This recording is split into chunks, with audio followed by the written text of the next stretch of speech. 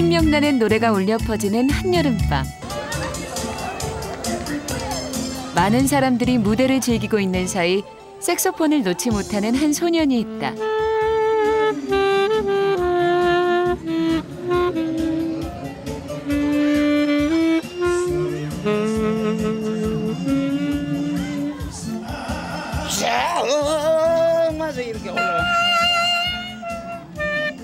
14살의 색소폰 소년 봉규다. 속에서 막 토해내듯이. 어? 감정 처리를 상당히 잘해야 돼. 그래서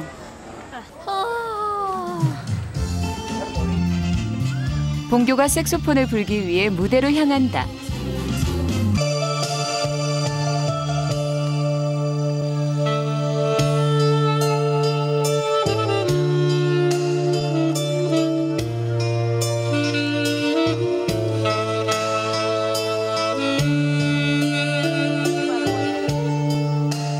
구슬프면서도 아름다운 봉규의 색소폰 연주.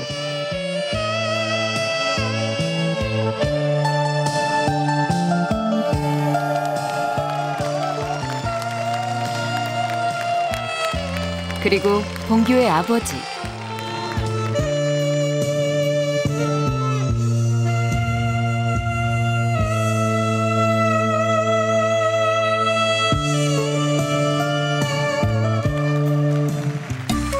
색소폰 소년 봉규와 생선 장수 아버지. 그들이 들려주는 희망의 연주가 펼쳐진다. 경상남도 창원시. 칠흑같이 까만 밤 홀로 불빛이 환한 집이 있다. 한여름이라도 아직 해가 뜨지 않을 때다. 행여나 아이들이 잠에서 깰까봐 조용히 나설 채비를 하는 봉규 부모님.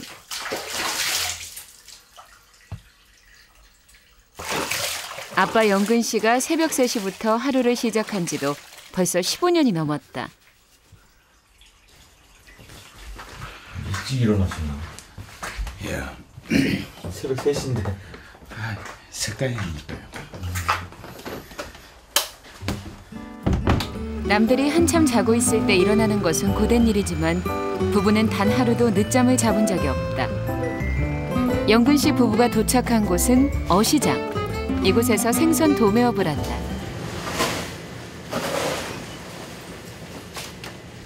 결혼해서부터 생선 가게를 했으니 올해로 16년째. 그동안에 몇 번의 사업 실패와 태풍 피해를 입어 고생도 참 많이 했다.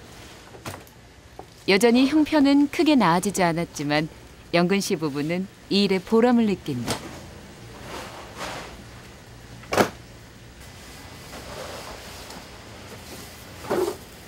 결혼 전부터 어시장에서 일했던 아내 혜숙 씨. 이제 눈을 감고도 생선을 다듬을 수 있을 정도로 전문가다. 손에 걸고 하면은 하나하나 하면 너무 힘들어서 발에 걸고 하는 게 제일 빨라. 부부에게 작은 생선 가게는 남다른 의미가 있다.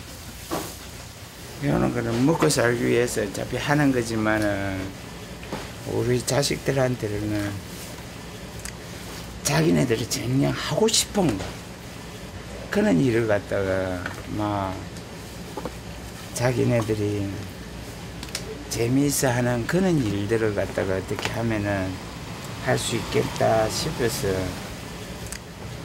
교육시키고 하는 거지. 온종일 비린내 나는 생선을 만져야 하는 일. 하지만 자식들 앞날을 위해서는 멈출 수 없는 게 부모의 마음이다. 그날 아침 아직도 잠에 빠져 있는 봉규 남매. 봉규는 여전히 일어날 줄 모른다. 아 여기 있다. 오빠 봉규보다 먼저 잠에서 깬 민주. 와 어디 찍고?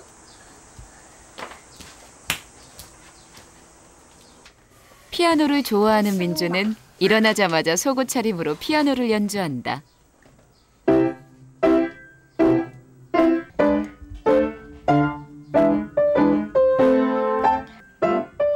피아노를 배우기 시작한 지 2년째. 얼마 전 중고 피아노를 산 후 부쩍 실력이 늘었다.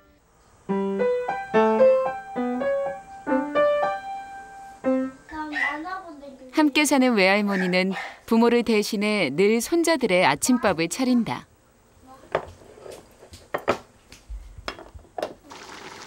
맛있게 먹어주면 좋으련만 손자들 밥 먹이는 건 쉽지 않다.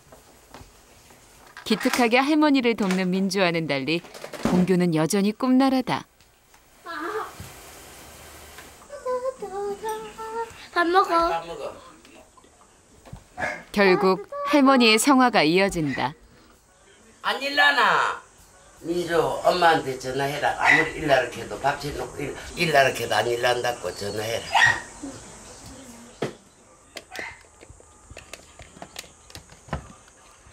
엄마, 오빠야, 저 할머니가 밥 차려놓고 일어나라고 하는데 안 일어난다. 이거 받지 마. 봉규 받으렇게.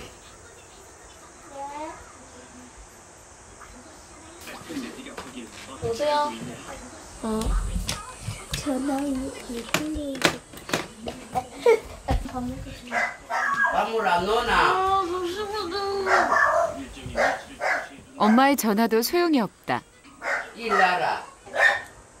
아침에 아무리 밥을 밀려고 어렸어도 잠 때문에 못 먹고 그래. 나 일어났는데. 니, 니는 착하고. 안 일나나 빨리. 나 그래도 밥 먹고 세수하고 안 하는 아까부터 세수해 가 있으라 했는데 세수도 안 하고. 할매 말로 못 나갔다 지금.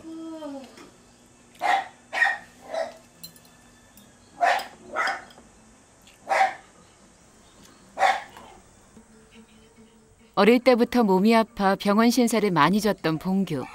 체력이 약해 아침 일찍 일어나는 것이 쉽지 않다. 그럼에도 하루도 빠지지 않고 들르는 곳이 있다. 아, 동기 왔나? 네. 악기 준비하고 어서 올라와라. 빨리 오는. 이곳은 봉규가 회원으로 활동하고 있는 색소폰 동호회 연습실. 비싼 레슨비가 부담스러운 봉규에게 이곳만큼 고마운 연습 공간은 없다.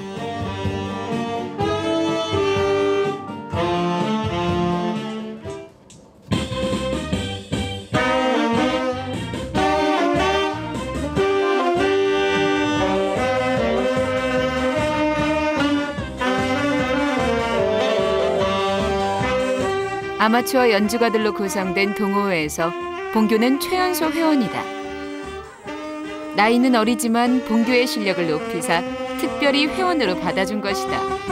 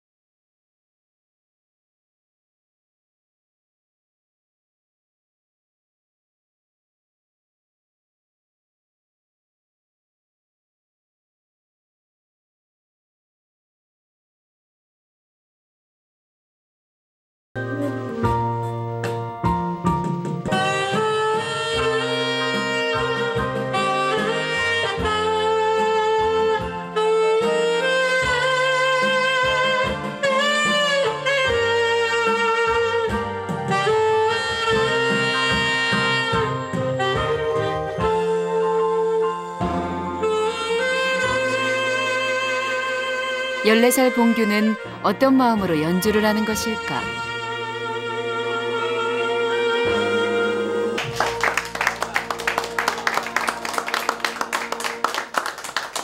저 중학교 1학년이 무슨 노래 의미 가사를 뭐 알겠으면 모르는데 뭐 어른들의 그 있던 그 가사 내용을 자기가 파악을 잘해서 이 연주할 때도 그 소리를 그 표현을 해서 잘하는 그게 아주 장점인 것 같아요. 그래서 저도 한 번씩 뭐 기교 같은 거 비브라토 하는 걸 병규한테 한 번씩 중간 레슨을 받습니다. 받는데 천부적인 세- 소질 저거는 아무나 따라 하지 못할 것 같습니다.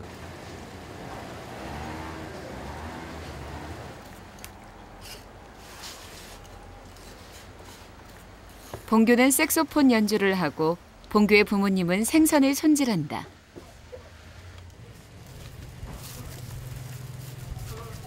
부모가 자식을 위해 고된 일을 마다하지 않듯이 봉규도 땀 흘리는 부모님을 위해 색소폰 연주를 게을리하지 않았다.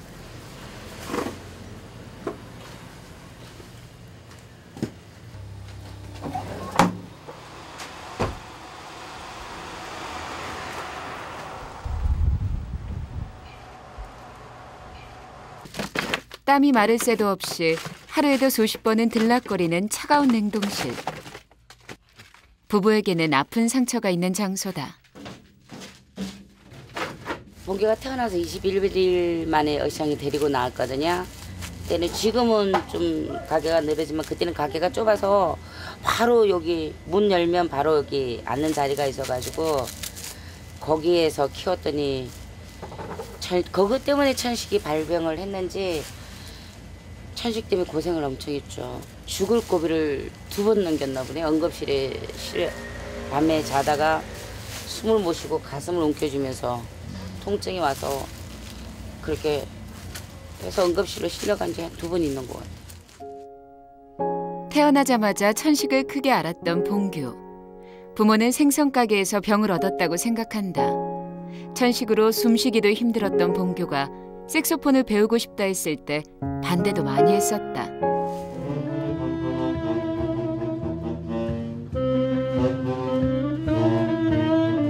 전체적으로 기초 체력을 길러야 돼.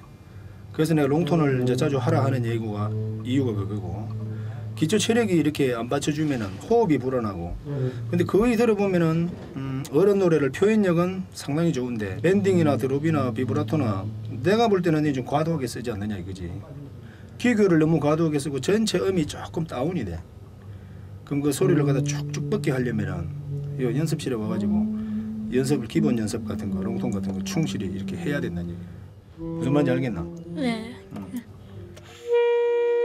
천식으로 고생을 했던 봉규. 색소폰을 연주할 때 가장 신경 쓰는 부분은 호흡이다.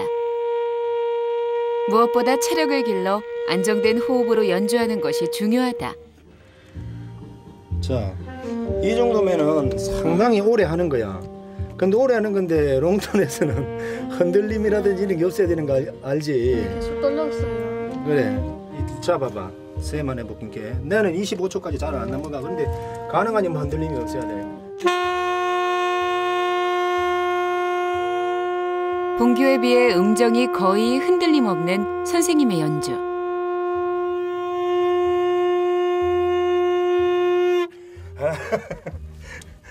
자, 방금 음이 약간 흔들리는 거 있잖아. 네. 그 안 흔들리도록 하는 것도 상당히 중요하다는 거야.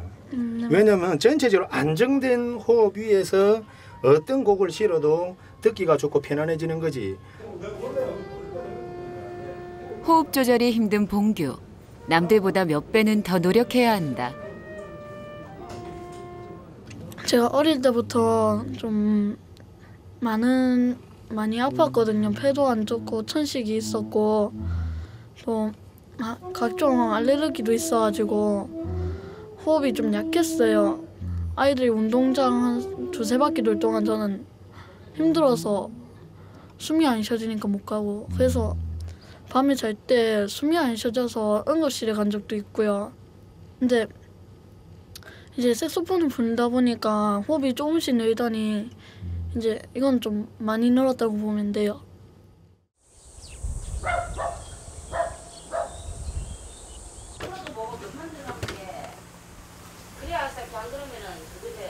아빠 이거 부서졌는데요. 뭐라고? 어저께도 썼잖아. 그런지 이게 악보를 올려놓는 보면대에 문제가 생겼나 보다. 영근 씨는 봉규가 색소폰을 연주하는데 불편함이 없도록 언제나 신경을 써준다. 소에 망치 있던 거 어디 있어? 어? 그 저기 있어요. 어항 있는데. 아들의 매니저 역할을 제대로 해주는 셈이다.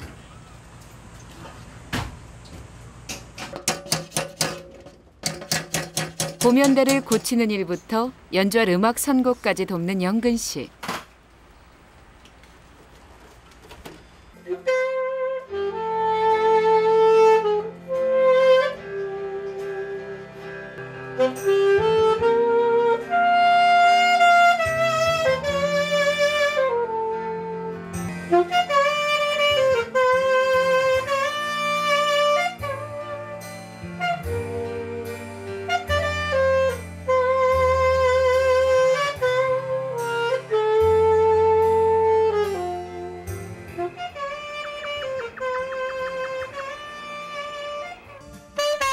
늦은 시간까지 계속되는 연습. 영근 씨가 빠질 수 없다. 공기야 요거 이렇게 해가지고 아빠가 니한테 저거 해봐라 요리도 해봐라 저거 해봐라 그래서 하도 엄마 아빠 돌아오죠 돌아가시고 난 다음에 이렇게 원통이 불러보면 알 거고 그지? 그런 걸 생각하면서 해봐 엄마 아빠 고마 없다 생각하고 이 불러봐 네가 나이가 한 50 정도 되시면은 엄마 아빠는 벌써 없을 건데 응? 네가 지금 현재 14살이니까 앞으로 36년이다. 36년 되면 아빠가 90살 가까이 된다. 그지? 86, 7, 그 정도 되는데 그때 돼가지고 아빠 엄마 살아있겠나? 네. 요즘 어? 우리나라 의학 기술이 좋아가지고 100세 이상은 거뜬히 살 수 있다고 토끼 자료가 있기 때문에 오늘도 새벽 3시부터 나와가지고 지금까지 몇 시고 10시 다. 덕분에 아빠 체력이 더 느는 거잖아. 체력 느는 게 아니라 내 지금 오만 오, 애간장에 다 내려앉는다. 아빠 나이가 됐을 때, 어? 요거 이렇게 원통에 땅을 치고, 어? 통곡해도 엄마 아빠는 없다. 그렇게 오래 살고 싶지도 않고. 니가, 니가, 니, 니가 애로운 마음이 있었어. 네가 하고 싶은 거 이렇게 좀더 선택을 하는 거. 조금 더 슬픈 감정을 끄집어내어 연주를 해보라는 영근 씨.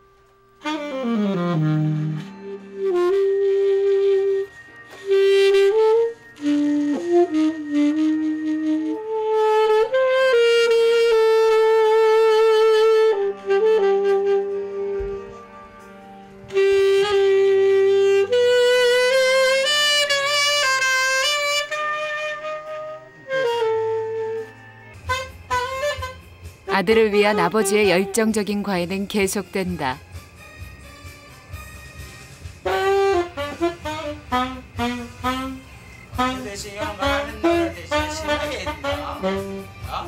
이제 아빠는 아들 덕분에 색소폰 박사가 됐다. 저희들은 저는 색소폰에 대해서 음악에 대해서 아무것도 모르고 있는 그런 상황에서 일단 대중 가요를 이렇게 많이 들어왔기 때문에 그것만 느끼고 그거 그 감정만 전달하려고만 이렇게 하고 있지 실제적으로 색소폰이 어 운지법이 뭐가 어떻게 바르게 이렇게 돌아가는 건지 또 입으로 부는 이 방법이 제대로 된 방법인지 그거 자체를 저희들은 몰라요. 하루라도 빨리 이렇게 저 좀 좋은 전문가한테서 이렇게 해가지고 상태를 체크해보고 그런 분을 만났으면 좋은 그런 것이 하나의 바람이죠. 영근 씨는 봉규가 제대로 된 색소폰 교육을 받길 원한다. 하지만 색소폰 가격만 해도 300만 원이 훌쩍 넘는 현실. 전문 강사에게 배우는 고가의 레슨비는 꿈도 꾸지 못한다. 어려운 형편에도 자신을 뒷바라지한다는 걸 잘 아는 봉규. 마음이 편할 리 없다. 이 색소폰으로 이렇게 많은 사람들한테 희망을 전해주기를 하, 하기 위해서 한 거잖아요.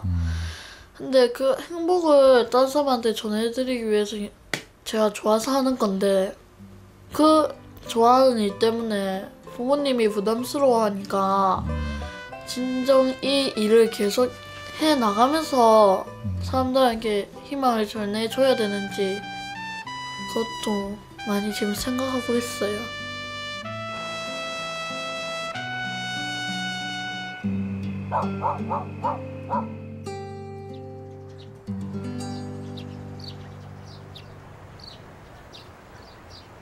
오늘은 말린 갈치 작업 때문에 분주한 영근 씨 부부.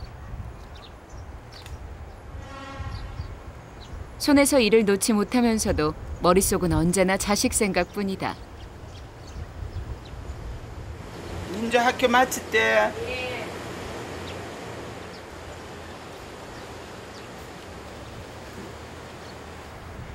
새벽부터 가게에 있다 보니 아이들과 함께 할 수 있는 시간은 거의 없다.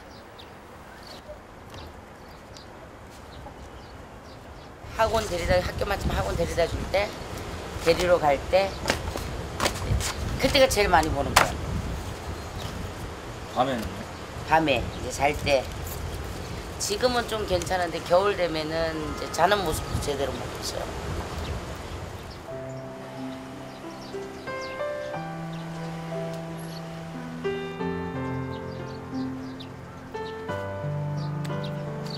자기네들 스스로 놀 줄도 알고 엄마 아빠 어, 일요일도 이렇게 일 나가는 거 그런 것도 이해는 할 수 있는데 가끔씩 이렇게 가슴 아프게 이렇게 하는 거는 토, 토요일 일요일 같은데 그런데 자기네들 친구들 다 어디 놀러 가고 그러는데 왜 엄마 아빠는 놀러 갔으면 좋겠는데 왜 안 가느냐 하는 그런 거 그런 것 때문에 가슴 아플 때가 많죠.